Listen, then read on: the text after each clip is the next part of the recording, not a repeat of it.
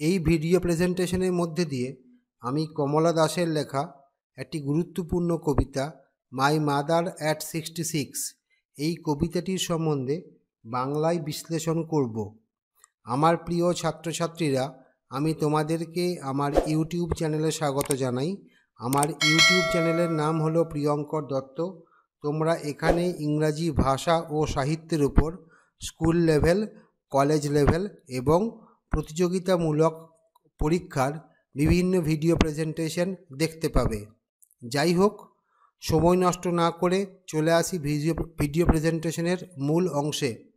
কবিতাটির নাম হলো my mother at sixty six অর্থাৎ এখানে কবি বলছেন যে তার মায়ের বয়স যখন ছিষট্টি, সেই সময়ে এই কবিতাটি লেখা। তাহলে ছিষট্টি বছর বয়স আমরা এই বয়সটিকে ওল্ড এজের সঙ্গে অ্যাসোসিয়েট করতে পারি বা এই the age sixty six we may say that this age is a kind of turning towards old age. এই বয়সটা বোঝাচ্ছে যে বার্ধক্যের দিকে অগ্রসর হওয়া। যাই হোক, চলে যাই কবিতার প্রথম লাইনে। কি বলছেন? Driving from my parents home to Cochin last Friday morning. একটা নির্দিষ্ট শুক্রবার সকালের বেলার কথা বলছেন, কবি ড্রাইভ করছেন, গাড়ি চালাচ্ছেন। কোন ডিস্টেন্স ড্রাইভ করছেন? From my parents home. তার বাবা বা মা যে কোনো একজনের বাড়ি থেকে। তাহলে পেরেন্টস হোম এখানে হয়তো বাবার কথাই বলছেন, বাবার বাড়ি থেকে।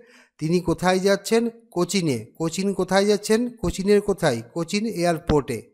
তিনি গাড়ি চালিয়ে যাচ্ছেন। তখন কি ঘটছে? আই স মাই মাদার, কবি দেখছেন তার মাকে। কোথায় দেখছেন? বিসাইড মি তার পাশে। তার মা কি করছে? ডোজ, ঝিমোচ্ছে। ওপেন মাউথ মুখটা হাঁ করে আছে। তাহলে এই যে ঝিমোনো, মুখটা হাঁ করে থাকা, এগুলো কবির কাছে কিসের ইঙ্গিতবাহী? ওল্ড এজ এর ইঙ্গিতবাহী। তাহলে সকালবেলা কবি গাড়ি চালাচ্ছেন। মানে এটা এক্সপেক্টেড যে রাত্রেবেলায় তার মা ভালোভাবে ঘুমিয়েছেন। কিন্তু যেহেতু তার মায়ের বয়স হয়ে গেছে, তিনি হয়তো এই জার্নিটা করার পক্ষে ফিজিক্যালি ততখানি ফিট নন। যতখানি তার ফিট হওয়া উচিত ছিল এই জার্নিটি করবার জন্য। তাহলে তার যে ফিজিক্যাল ক্ষমতা কম, তার কজ কি? তার কজ হচ্ছে তার old age her face ashen like that of a corpse. কবি আর কি দেখছেন? তার মায়ের মুখটা হচ্ছে অ্যাশেন। অ্যাসেন মিন্স? তাহলে অ্যাসেন শব্দের অর্থ হচ্ছে অ্যাশ বা ছাইয়ের মতো কালার যুক্ত কি বলছেন? Ashen like? কোথায় আছি দেখো আমরা? Ashen লাইকে, like that of a corpse. Corpse মানে ডেড বডি। একটা ডেড বডির কালার বা কমপ্লেকশন এর সঙ্গে অ্যাশ ছাইয়ের কালারের কবি একটা অ্যাসোসিয়েশন করছেন। তাহলে অ্যাশের মধ্যে আমরা কি পাই? যে কালো রঙটা একটু ফ্যাকাশে ভাব, সেটাই হচ্ছে ছাই ছাই কালার তেমনি কর্পস মৃতদেহের যে কমপ্লেকশন তার মধ্যে আমরা একটা পেলনেস এটা ফ্যাকাশে ভাব পাই। কেন কি, কেন পাই? এই পেলনেসটা because the flow of blood in dead body has stopped কারণ একটা মৃতদেহের মধ্যে যে রক্তের প্রবাহ রক্তের প্রবাহটা বন্ধ হয়ে গেছে। অ্যান্ড রিয়েলাইজড উইথ পেন এবং কবি এটা বুঝতে পারছেন এবং বুঝতে পারার মধ্যে একটা পেন কষ্ট আছে। কেমন কষ্ট? অবশ্যই এটা মেন্টাল পেন মানসিক কষ্ট। That she was as old as she looked কবি কি বুঝতে পারছেন? তার মাকে দেখে যতটা বয়স্ক বলে মনে হচ্ছে, তিনি ততটাই বয়স্কা। তাহলে তার মায়ের বয়স হয়ে গিয়েছে। তার মায়ের মুখটা দেখে যে, তার মায়ের মুখটা দেখে যেরকম বয়স বলে মনে হচ্ছে, তার মায়ের সত্যি সত্যি বয়স হয়ে গিয়েছে। তার মানে কবি বুঝতে পারছেন যে there is no disparity between appearance and reality so far as the facial appearance of her mother and the suggested age of the mother is concerned তাহলে তার মায়ের মুখটা দেখে যেটা মনে হচ্ছে তার মায়ের বয়স এই রকম হতে পারে এবং তার মায়ের বাস্তবিক পক্ষে বয়স দুটোর মধ্যে একটা সামঞ্জস্য রয়েছে।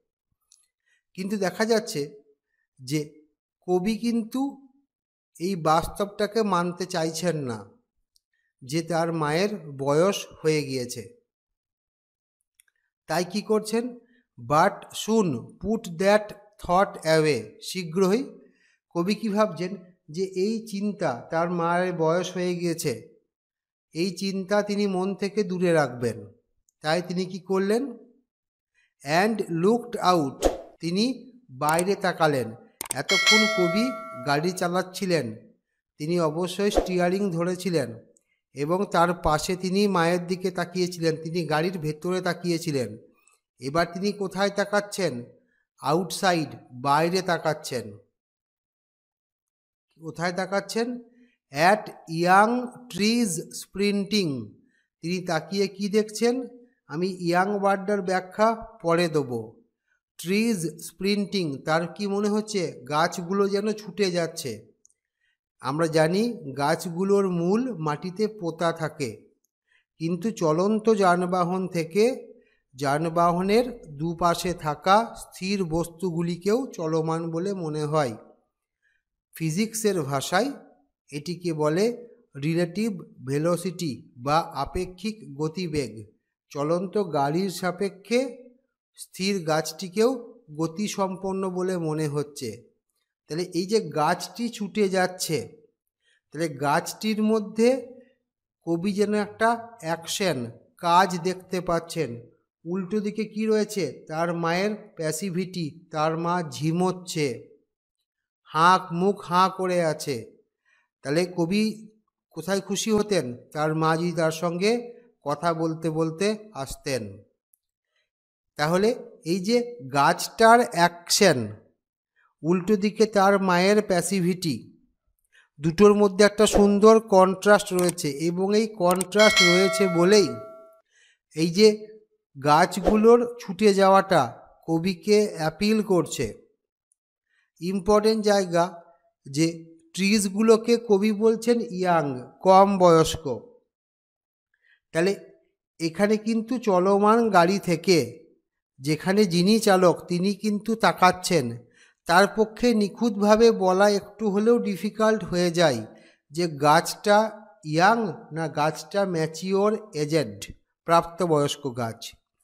তাহলে কিন্তু, তাহলে বুঝতে পারছ যে এই যে ইয়াং ওয়ার্ডটা ইউজ করেছেন ইয়াং ওয়ার্ডটা কিন্তু কবি এখানে ডেলিবারেটলি ইউজ করেছেন। দেখা যাক, আর একটা জিনিস কবি দেখছেন। কি দেখছেন? Merry children spilling out of their homes.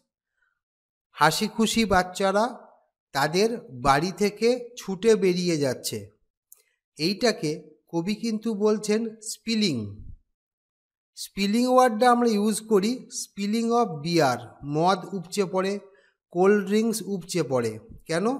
Carbon ডাইঅক্সাইডটাকে চাপ দিয়ে লিকুইড ফর্মে রাখা হয় যখনই ঢাকনাটা খোলা হয়, সেই সিও টুটা বেরিয়ে যায়। তখনই মনে হয় কি, ভেতরের যে কোল্ড ড্রিঙ্কস বা ওয়াইন সেটা যেন উপচে পড়ে বেরিয়ে যাচ্ছে।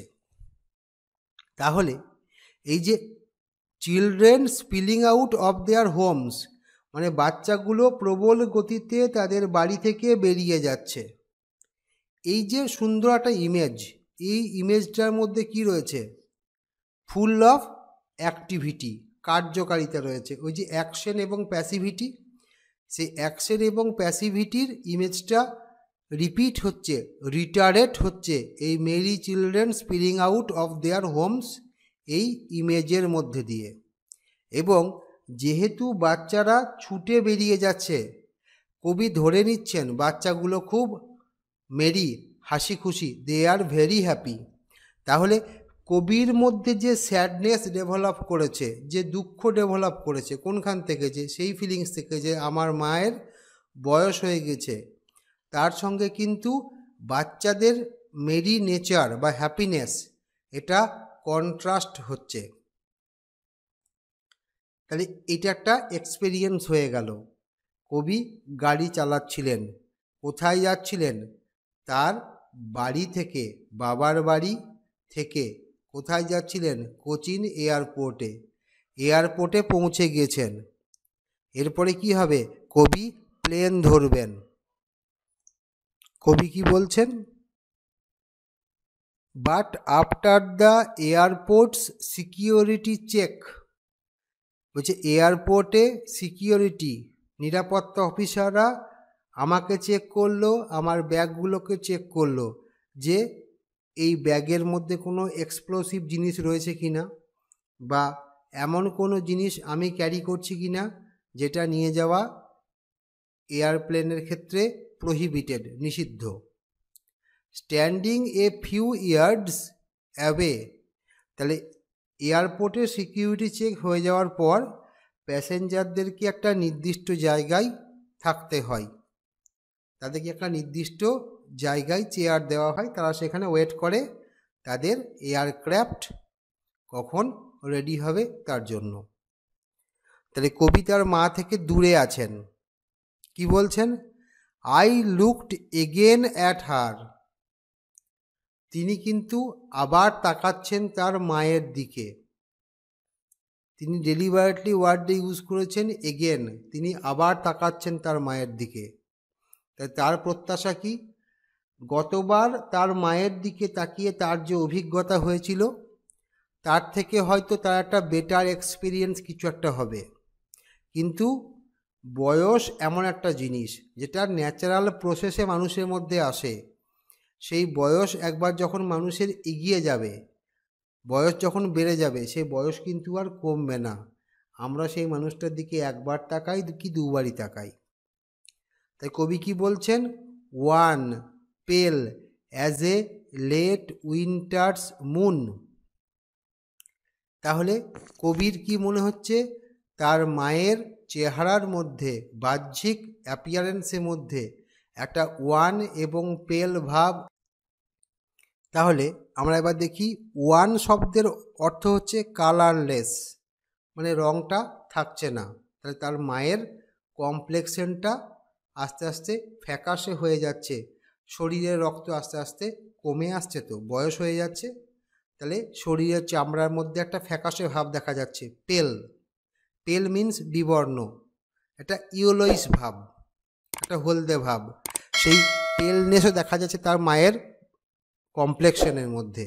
তাহলে এই দুটো সাইন কিসের সাইন ওল্ড এজের as a late winter's moon কবিতার মায়ের কমপ্লেকশনটাকে কম্পেয়ার করছে লেট উইন্টার্স মুন। শীতের শেষ দিকে চাঁদকে দেখতে যেমন লাগে, ঠিক তার সঙ্গে কবি তার মায়ের কমপ্লেকশনের কম্প্যারিজন করছেন। লেট উইন্টারে চাঁদটাকে দেখে কেমন মনে হয়? একটু ফ্যাকাশে বলে মনে হয়। কেন? মিস্ট কুয়াশা থাকছে, ফগ থাকছে। সেই কারণে কি? চাঁদের যে লাস্চার গরিমা, সেটা কিন্তু পুরোপুরি প্রকাশ পায় না। সেইভাবে তার মায়ের যে কমপ্লেকশন গায়ের রঙটার সেই অরিজিনাল কমপ্লেকশনটা প্রকাশ পাচ্ছে না। কেন? Because of bloodlessness রক্তাল্পতা because of old age and felt এবং অনুভব করছেন। তাহলে কবি তাকিয়েই বুঝতে পারছেন তার মায়ের ওল্ড এজ চলে এসেছে। তাহলে দ্বিতীয়বার তাকিয়েও তার বেটার কিছু এক্সপেরিয়েন্স হচ্ছে না। এবং তিনি কি ফিল করছেন? অনুভূতি কি অনুভব করছেন? দ্যাট ওল্ড ফ্যামিলিয়ার এক সেই পুরাতন, পরিচিত ব্যথা এক মিন্স ব্যথা, আমরা বলি হেড এক মাথা ব্যথা। এখানে এক মানে কিন্তু এটা অ্যাংজাইটি যে দুশ্চিন্তা, কবির কাছে অপরিচিত নয়। এই দুশ্চিন্তা কবির মধ্যে আগেও কাজ করেছিল। এবং কি? এটা ওল্ড এই দুশ্চিন্তা ওল্ড মানে এই দুশ্চিন্তা বহু আগে থেকে তাকে বারংবার কষ্ট দিচ্ছে। মাই চাইল্ডহুডস ফিয়ার তার শৈশবের ভয়, যে ভয়টা তিনি শৈশব থেকে পেয়েছেন। তাহলে তিনি যখন ছোট ছিলেন, তার মধ্যেও তখন এই ভয়টা ছিল। সেই ভয়টা কি? যে তিনি তার মাকে হয়তো হারিয়ে ফেলবেন। তিনি হয়তো তার মাকে আর দেখতে পাবেন না। তার মা হয়তো মারা যাবেন। এই ভয়টা কবি শৈশবে পেতেন। যখন তার মধ্যে ম্যাচিউরিটি এসেছে, তিনি বুঝেছেন যে না, মানুষের স্বাভাবিক পরমায়ু একটা নির্দিষ্ট বয়স পর্যন্ত তার আগে আমার মা চট করে মারা যাবেন না, যদি না আকস্মিকভাবে কিছু ঘটে যায়। তাহলে কিন্তু সেই শৈশবের ভয়টা এখন কিন্তু বাস্তব হয়ে গেছে। শৈশবে তিনি যা ভয়টা পেতেন, সেই ভয়টা ছিল কাল্পনিক ভয়। সে ভয়টা ছিল কাল্পনিকের থেকেও বেশি করে বলা যায় অবাস্তবিক, কারণ তার মায়ের বয়স তখন অনেক কম ছিল। এখন তার মায়ের বয়স ছিষট্টি। তার মাকে দেখেই বোঝা যাচ্ছে তার মায়ের বয়স হয়ে গেছে। তাহলে কবি বলছেন কি? যে, না, এই মুহূর্তে সেই ভয়টা আমার মধ্যে ফিরে আসছে এবং এই ভয়টা আমার মনে হচ্ছে বাস্তবসম্মত। এটা লজিক্যাল, যুক্তিগ্রাহ্য। তাহলে কবির মধ্যে সেই একটা ভয় কাজ করছে। সেই একটা দুশ্চিন্তা কাজ করছে। তিনি হয়তো তার মাকে আর দেখতে নাও পেতে পারেন। And all I said was sorry but all I said was but মানে কিন্তু একটা অপোজিট কিছু। তাহলে তিনি যেটা ফিল করলেন আর তিনি যেটা বলছেন, দুটো কিন্তু অপোজিট তাহলে কবি কি করলেন? কবি তার মনের দুশ্চিন্তা চাপা দিয়ে তিনি তার মাকে অন্য কিছু বলছেন। কি বলছেন? সি ইউ সুন আম্মা, মা, তোমার সঙ্গে শীঘ্রই দেখা হবে বা তোমার সঙ্গে শীঘ্রই দেখা হবে। তাহলে কবি কিন্তু তার মাকে এই ইমপ্রেশন দেওয়ার একেবারেই চেষ্টা করছেন না যে তার মায়ের বয়স হয়ে গেছে। তিনি হয়তো তার মাকে পরের বার এসে নাও দেখতে পেতে পারেন। তাহলে কবির মধ্যে যে একটা ম্যাচিওরিটি এসেছে, তিনি সেই ম্যাচিওরিটি প্রকাশ করছেন তার কথার মধ্যে দিয়ে। আমরা জানি যে গ্রোন আপ চিলড্রেন তাদের রেসপন্সিবিলিটি কি? তাদের বৃদ্ধ বাবা মাকে মোরালি বুস্ট আপ করা, মানসিকভাবে সাহস যোগানো উচিত। কবি কিন্তু তার মাকে এই সাহসটাই যোগাচ্ছেন আর কি বলছেন? All I did was smile smile smile আর কবি এই কথাটা বললেন, কিন্তু ভেতরে তিনি যা ফিল করলেন, সেটা বাইরে প্রকাশ করলেন না। তিনি কি করলেন? তিনি মুচকি হাসলেন মুচকি হাসলেন মুচকি হাসলেন। তিনি তার মায়ের দিকে তাকিয়ে মুচকি হাসলেন। তার ভেতরে হৃদয়টা নিংড়ে যাচ্ছিল। তার ভিতরে হৃদয়টা মুচড়ে যাচ্ছিল। কষ্টে দুশ্চিন্তায়, হতাশায়, কিন্তু কবি তার মায়ের দিকে তাকিয়ে শুধু হাসলেন। তাহলে কবি ভাবলেন যে মা যতদিন বাঁচবেন, তাকে মনের সাহস দেওয়াটাই আমার সন্তান হিসাবে কর্তব্য। তিনি কি করলেন? মনের ফিলিংস চেপে রেখে তার মাকে যথেষ্ট মনের জোর দিলেন। যাতে তার মায়ের কোনো মুহূর্তে না মনে হয় যে আমার মেয়ে তো ভাবছে, আমার বয়স হয়ে গেছে, আমি কি আদৌ বাঁচবো আর?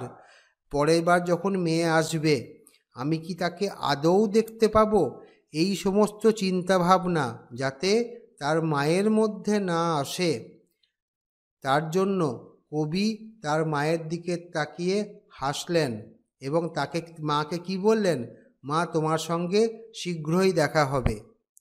তাহলে আমরা এখানে দেখতে পাচ্ছি গোটা কবিতাটার মধ্যে there is a play of hide and seek লুকোচুরির খেলা রয়েছে। কোনটা লুকিয়ে রাখছেন? কবিতার অরিজিনাল ফিলিংসটাকে লুকিয়ে রাখছেন।